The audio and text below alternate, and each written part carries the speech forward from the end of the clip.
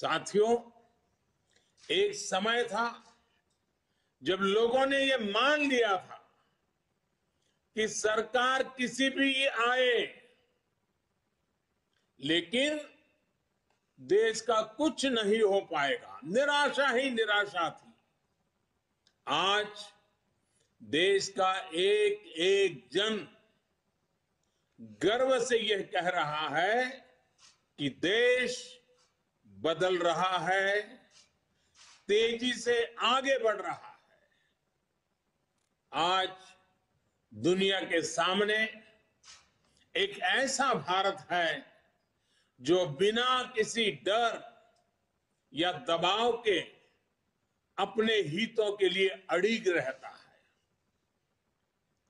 जब पूरी दुनिया दो विरोधी ध्रुवों में बटी हो तब भारत को एक ऐसे देश के रूप में देखा जा रहा है जो दृढ़ता के साथ मानवता की बात कर सकता है। हमारी सरकार राष्ट्रीय हितों को सर्वोपरि रखते हुए काम कर रही है। आज देश के पास नीतियाँ भी है, नियत भी है। आज देश के पास निर्णय शक्ति भी है और निश्चय शक्ति भी है। इसलिए आज हम लक्ष्य तय कर रहे हैं, उन्हें पूरा भी कर रहे हैं। आपने भी देखा है, कुछ समय पहले ही देश ने 400 बिलियन डॉलर, यानी 30 लाख करोड़ रुपए से भी ज़्यादा के उत्पादों के एक्सपोर्ट का टारगेट पूरा किया है।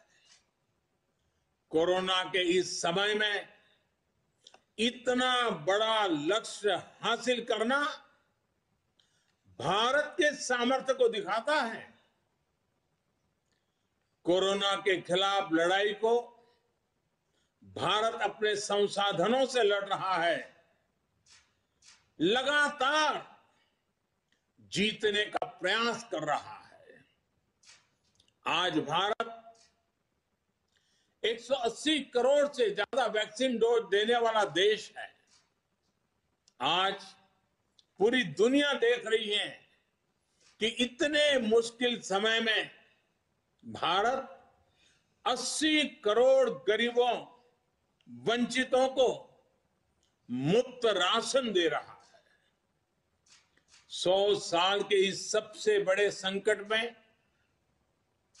गरीब को भूखा ना सोना पड़े। इसके लिए केंद्र सरकार करीब करीब साढ़े तीन लाख करोड़ रुपए खर्च कर रही है। बीते वर्षों में देश ने ये देखा कि जिस तरह अपने नागरिकों का जीवन आसान बनाना भाजपा सरकारों की, डबल इंजन की सरकारों की प्राथमिकता रही है। गरीबों को पक्के घर से लेकर शौचालय के निर्माण तक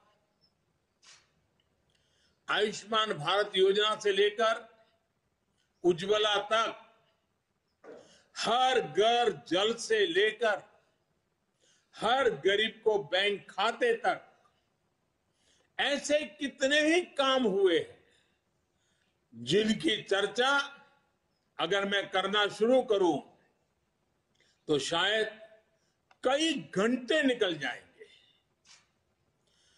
सबका साथ सबका विकास के मंत्र के साथ हम सबका विश्वास प्राप्त कर रहे हैं। देश के विकास के लिए दिन रात मेहनत कर रहे हैं।